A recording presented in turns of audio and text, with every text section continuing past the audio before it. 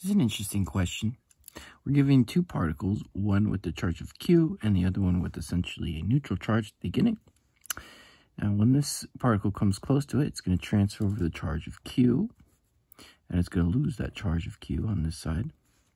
And we're asked what Q value, small q, would be um, above 0.5, this little ratio here, would result in half of the maximum force between these two things. Well, what's really important is that we realize that the max force uh, would essentially be if we had half and half of this q charge. If it was just split in half, q over 2, q over 2, then, um, then that would be how we can get the maximum force. So let's, let's write an equation for that F max would be essentially K times uh, Q over 2, square that, and then divide that by the radius squared. And that's our, we could simplify. Let's say K over R squared times uh, Q squared over 4. And this is going to be F max. Now, we only want half of that. So if we do 1 half of F max, then we're just going to multiply this by half. And then over here, we could simplify this further. And we could say that we technically, on this side, we just want, you know, K uh, Q squared over 8 R squared. And that's going to be um, what we want. But we're going to set that equal to the actual force. Let's try to figure out what this force is between these two. Because that's kind of what we want. But we're to need the force that we're looking for on this side. So we have another K, and then we have a Q times a Q minus Q. It's to be those two divided by R squared. And that's going to give us, try to simplify this down a little bit, right? Um, maybe k over r squared times q squared, uh, or sorry, q, q minus q squared.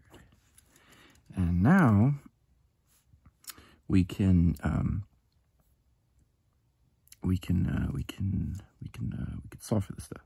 So let's cancel r squared from both sides and k from both sides.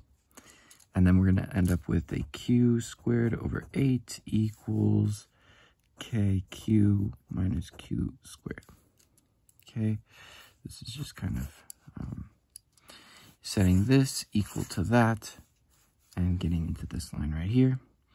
Now we have, we could set this up for the quadratic equation. We've canceled out k, by the way. That was supposed to be a q, not a k. And so now we have, um, we can, we can uh, multiply this on both sides.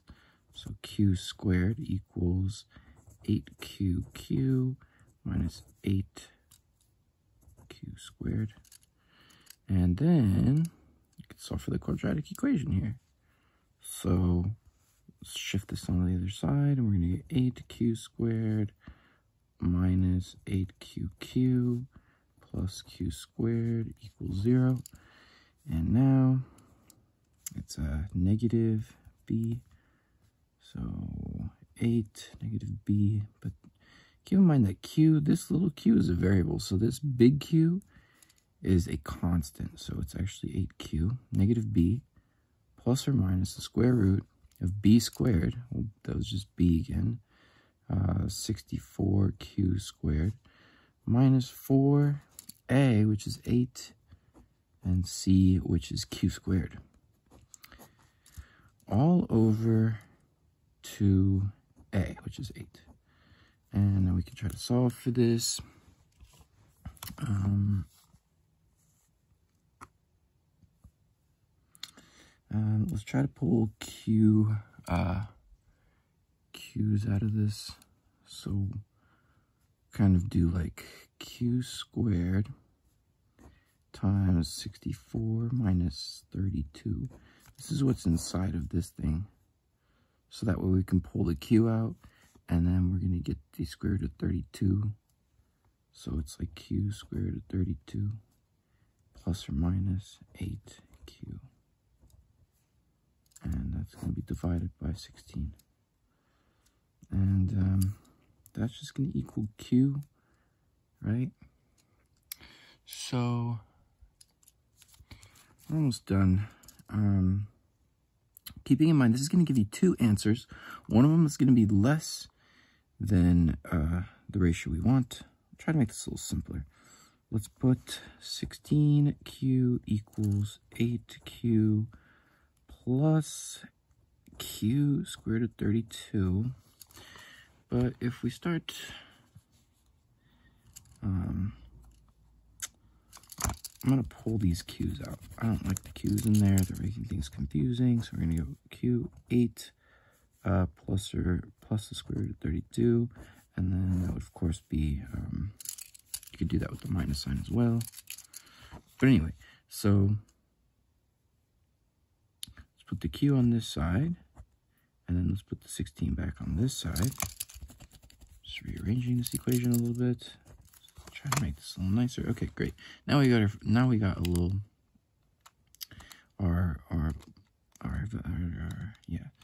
It's a, it's a ratio right there. So the 16. So if we do it with all positives, this becomes 0 0.8535.